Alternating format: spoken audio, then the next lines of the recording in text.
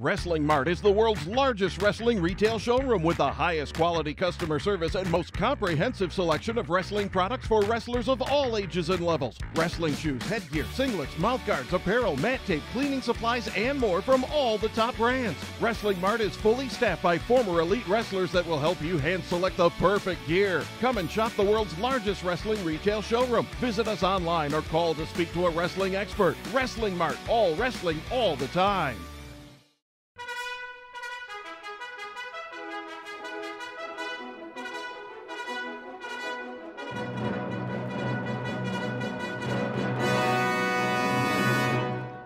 Wrestling fans, welcome to the next episode of the Legend Chronicles.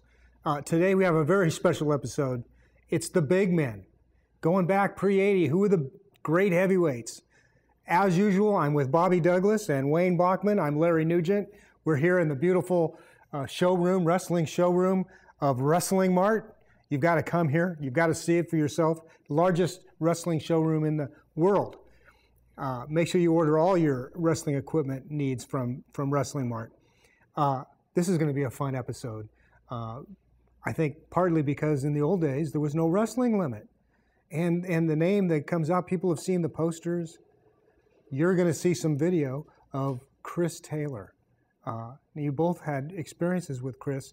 Uh, Wayne, I've had a chance to really talk to you a lot about about Chris Taylor, and one of the, you know, how it wasn't easy to get a workout in Chris Taylor was so big. I mean, how, how could you even work out with him? Well, Chris, first of all, when he first showed up at his first Greco-Roman camp, uh, first tryout for an international team, actually had been beaten off the freestyle team a week earlier. Uh, but at any rate, Chris came in and was uh, very uh, underconfident. Uh, didn't have any confidence at all. He um, was kind of a bashful, quiet person. And I had always beaten Tom Peckham. Peckham had always pinned Chris Taylor.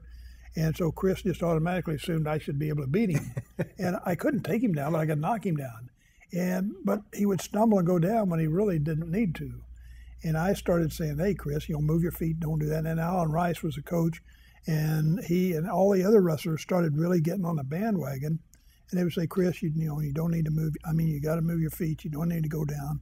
You know, and I actually told him, I said, "Somebody my size shouldn't even be able to move you. We should, I, I shouldn't be able to touch you." And there's because no reason. he was about how much at that time? Well, he was between 420 and 440. Six eight. Oh yeah, and and a real giant.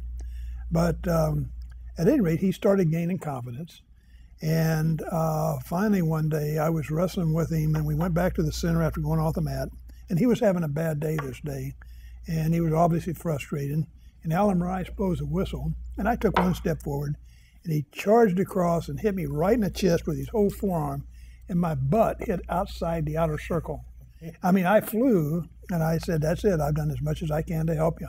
And of course, he became the only uh, wrestler to ever compete in the same Olympics in both freestyle and Greco-Roman. It made the team. Actually, right. Tommy Evans did it both, but he hadn't made the team in freestyle. But he's, you know, he's the alternate because Bertucci got hurt. Right. But anyway, Chris was Chris was amazing, and I've got other Chris stories. Yeah. What about Jim Nance? You talked about uh, the respect you had for Jim Nance as a wrestler and an athlete. Well, Jim Nance was a, a great athlete. Uh, he was a great boxer. Uh, I think he won the Golden Gloves in boxing, and uh, he was also a great football player, all pro football player, all American at Syracuse University, and um, he he was um, he was a Pennsylvania wrestler, and uh, came out of a very good system in Pennsylvania and lived up to the Pennsylvania tradition of uh, great wrestlers. Um, very fast for a big man uh, and great balance.